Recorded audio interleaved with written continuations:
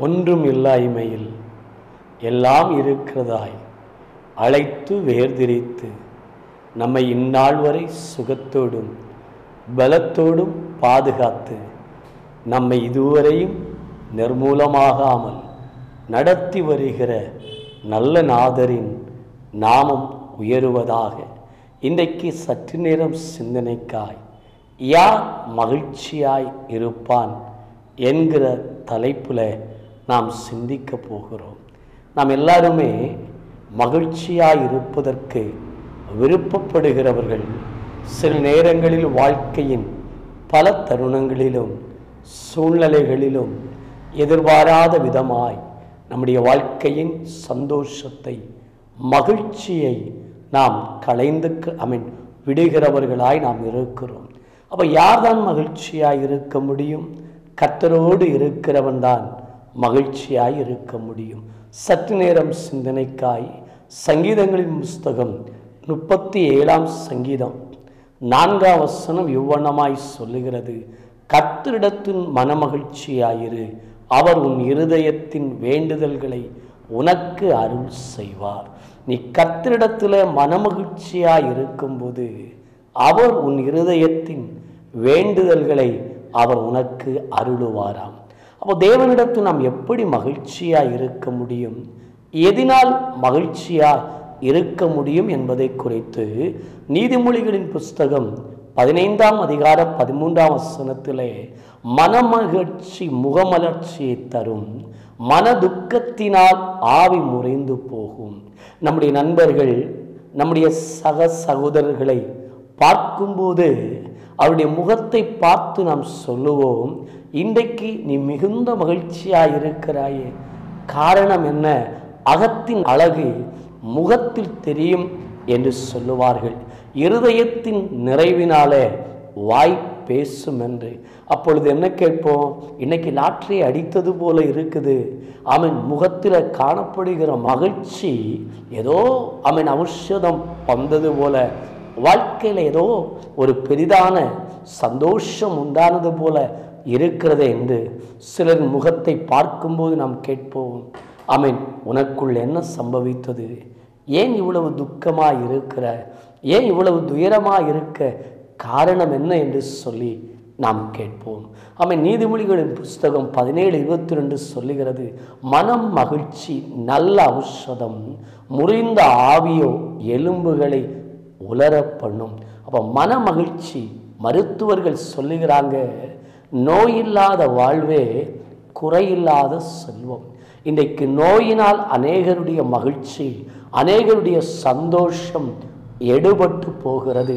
நாம் நோயாளிகளை பார்க்கும்போது அவர்கள் எல்லாருடைய இருதயத்திற்குள் இருக்கிற ஒரு துக்கம் எனக்கு சுகம் கிடைக்குமா? நான் மறுபடியும் அவன் பலத்தோடு என்னுடைய இயல்பு வாழ்க்கைக்கு நேராய் திரும்ப முடியுமா என்கிற துக்கம் அவர்கள் இருதயத்தை ஆட்கொள்ளும். மருத்துவர்கள் சொல்லுகிறாங்க வாய் விட்டு சிரிச்சா நோய் தானாய் போகுமா? அப்போ ஒரு மனுஷன் அவன் ஸ்தோத்திர தேவனுக்கு முன்பாகவும் உலகத்திற்கு முன்பாகவும் தன் சனத்திற்கு முன்பாகவும் வாய்விட்டு சிரிக்கிறது என்று சொல்லும்போது இருதயத்தில் உள்ள கவலைகளை துக்கங்களை பாரங்களை இறக்கி வைக்கிறதையும் மனசுக்குள் இருக்கிற வருத்தத்தை மாற்றி அவன் சந்தோஷிக்கிறதை குறிக்கிறது என் அன்பு தேவச்சனமே என்னை கேட்கிற என் அன்பு அவன் தேவ பிள்ளைகளே நிச்சயமாய் நாம் இன்றைக்கு அவ்வளமாக இருக்கிறோமா? ஏன் நமக்கு இன்றைக்கு வியாதி அதிகரிக்கிறது? நமக்கு பிரச்சனைகள் அதிகரிக்கிறது? நாம் வாய்விட்டு சிரிக்கிற அனுபவம் சந்தோஷிக்கிற அனுபவம். ஒருவரோடு ஒருவர் மனசு திறந்து காரியங்களை துக்கங்களை பரிமாறுகிற அனுபவம் நமக்குள் குறைகிறபடியினால்தான் நமக்குள்ளே நாம் கிளேசங்களை பாரங்களை வருத்தங்களை ஒதுக்கி ஒதுக்கி கொண்டு போகிறதினால் நமக்குள்ளாகவே ஆவி முறைந்து போகிறது. அவன் மன மகிழ்ச்சி நல்ல ஔஷதம். அவன் நல்ல ஔஷதம் எங்க? அவன் ஸ்தோத்திரம். என்னை கேட்கிறேன் நண்பு தேவச்சனமே நல்ல ஔஷதம் நம் மனதிற்குள்ளே இருக்கிறது. நிச்சயமா நாம் வாய் விட்டு சிரிக்கும் போது நம்முடைய சரீரத்திற்குள் நம்முடைய மனதிற்குள் இருக்கிற துக்கம் மாறும். துக்கம் மாற மாற நம்முடைய சரீரத்தின் பலவீனங்கள் நீங்க ஆரம்பிக்கும். ஆமாம் இப்படியே நாம் வாசிக்கிறோம் சங்கீதம் முப்பத்தி ஏழு பதினொன்றில் சாந்த குணம் உள்ளவர்கள் பூமியை சுதந்தரித்து மிகுந்த சமாதானத்தினால் மனமகிழ்ச்சியாயிருப்பார்களாம் எப்படி? சாந்த குணம் உள்ளவர்கள் பூமியை சுதந்தரித்து சமாதானத்தினால் மனமகிழ்ச்சியாயிருப்பார்களாம் அப்படியானால் அவர்களுக்குள் சமாதானம் இருக்கிறது நிமித்தம் மனமகிழ்ச்சியாயிருப்பாங்க. அவருடைய மனம் எப்பொழுதும் மகிழ்ச்சியாக இருக்கும் சங்கீதம் நான்காம் சங்கீத ஏழாவசனம் சொல்லுகிறது அவர்களுக்கு தானியம் திராட்சரசமும் பெருகியிருக்கும் காலத்தின் சந்தோஷத்தை பார்க்கிலும் அதிக சந்தோஷத்தை என் இருதயத்திலே தந்தேன். அப்ப யாருக்கு தான் இந்த சந்தோஷம் இருக்கும்? அவன் தானியமும் திராட்சரசமும் பெருகியிருக்கும் காலத்தின் சந்தோஷத்தை பார்க்கிலும் அதிக சந்தோஷத்தை என் இருதயத்திலே தந்தீர். அவன் இருதயத்துக்குள் சந்தோஷம் பெருகும்போது நிச்சயமாய் அவன் தானியமும் திராட்சரசமும் வாழ்க்கையில சில தோல்விகளும் ஏமாற்றங்களும் நெருக்கங்களும் வந்தாலும் அவர்கள் இருதயத்திற்குள் தேவன் அவர்கள் இருதயத்திற்குள்ளே கொடுத்த அந்த சந்தோஷத்தினால் அவர்கள் மகிழ்ச்சியாயிருப்பார்கள். ஆபுகுக் மூன்றாம் அதிகாரம் பதினேழு பதினெட்டு வசனம் இவ்வனமாய் சொல்லுகிறது. அத்திமரம் துளிர்விடாமல் போனாலும் ஆட்டு மந்தை முதலற்று போனாலும் நான் கத்தருக்குள் மகிழ்ச்சியாயிருப்பேன் என் ரட்சிப்பின் தேவனுக்குள் களி கூறுவேன். அத்திமரம் நம்பின அமன் ஸ்தோத்திர கனி விருஷங்கள் பலன் தராமல் போகலாம். எதிர்பார்த்ததான நன்மைகள் கிடைக்காமல் போகலாம். நாம் எதிர்பார்த்து எதிர்பார்த்து நமக்கு நல்ல ரிசல்ட்டுகள் இல்லாமல் ஆமென் நம்முடைய வாழ்க்கையில் நாம் நம்பி இருந்தவைகளில நல்ல விளைச்சல்கள் விளைத்தானியங்கள் ஆட்டு மந்தையில் முதலற்று போகலாம். ஆனாலும் நான் கர்த்தருக்குள் மகிழ்ச்சியாய் இருப்பேன் என் தேவனுக்குள் களி கூறுவேன். ஏன் தேவ ஜனங்களுக்குள்ளே அதிக நெருக்கங்களும் வருத்தங்களும் அதிக துக்கங்களும் இருக்கிறது? ஆனாலும் அவைகள் எல்லாவற்றையும் மறந்து தேவனை துதிக்கவும் தேவனுக்குள் மகிழ்ச்சியாய் இருக்க காரணம் என்ன?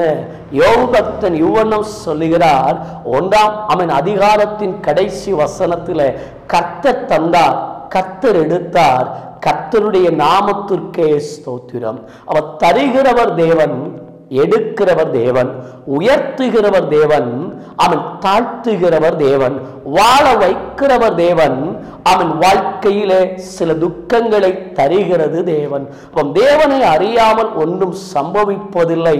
ஆனபடியினால் சகலவும் தேவனை அறிந்து சம்பவிக்கிறபடியினால் தேவனுக்குள் இருக்கிறவர்கள் எல்லா சூழ்நிலையிலும் மகிழ்ச்சியா இருப்பார்கள் அவ மகிழ்ச்சியா இருக்கும்போது அது அவர்களுக்கு நல்ல ஔஷதமாய் மாறுகிறது. அவர்கள் நாளுக்கு நாளாக அந்த சூழ்நிலைகளை மேற்கொள்ள ஆரம்பிக்கிறார்கள்.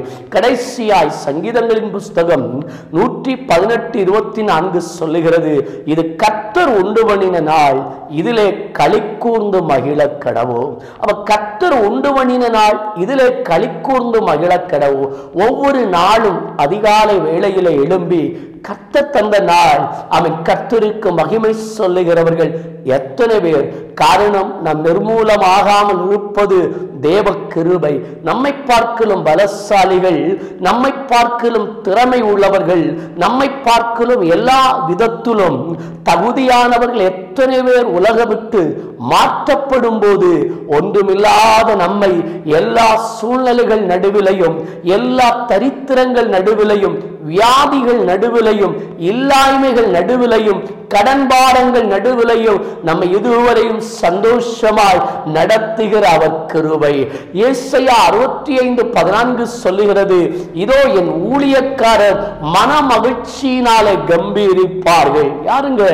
தேவனுடைய ஊழியக்காரர் அவன் மன மகிழ்ச்சியினாலே கம்பீரிப்பார்களாம். அப்படியானால் ஊழியர்களுக்குள் இருக்கிற ஒரு மகிழ்ச்சி ஒரு சந்தோஷத்தை பாருங்க. அவன் அந்த சந்தோஷத்துக்கு நிகராக இந்த சமாதானத்துக்கு நிகராக ஒன்றுமே இல்லை.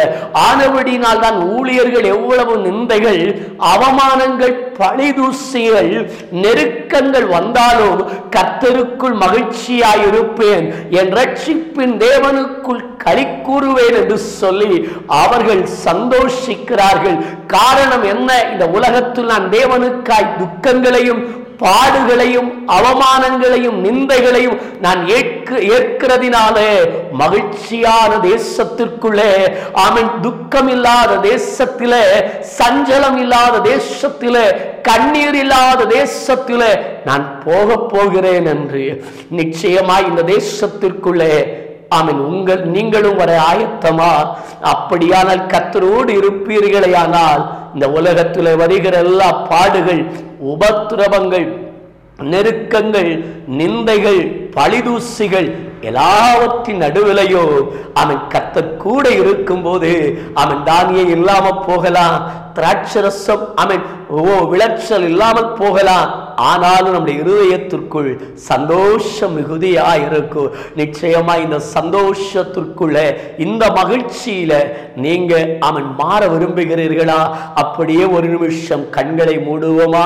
எங்களை அன்பாய் நேசிக்கிற அன்பின் நல்ல தேவனே யார் மகிழ்ச்சியாய் இருப்பான் கத்தரோடு இருக்கிறவன் மகிழ்ச்சியாய் இருப்பான் கர்த்தருடைய வேதமே என் மன மகிழ்ச்சி அவ வேதத்திலே அவன் பிரியப்படுகிறவர்கள் மகிழ்ச்சியாய் இருப்பார்கள் கர்த்தருடைய கற்பனைகளிலே அவன் பிரியப்படுகிறவர்கள் மகிழ்ச்சியாய் இருப்பார்கள் கத்தரோடு இருக்கிறவர்கள் மகிழ்ச்சியாய் இருப்பார்கள் என்ற நல்ல வார்த்தைகளுக்காக ஔஷதங்களுக்காக ஸ்தோத்திரம். ஆவியானவர் எல்லா இருதயத்தின் காயங்களையும் கட்டி அவன் உள்ளான மனிதனிலே சந்தோஷமா இருக்க மகிழ்ச்சியா இருக்க மகிழ்ச்சி என்னும் கட்டிலினாலே உடைய பிள்ளைகளை நிரப்புவீராக.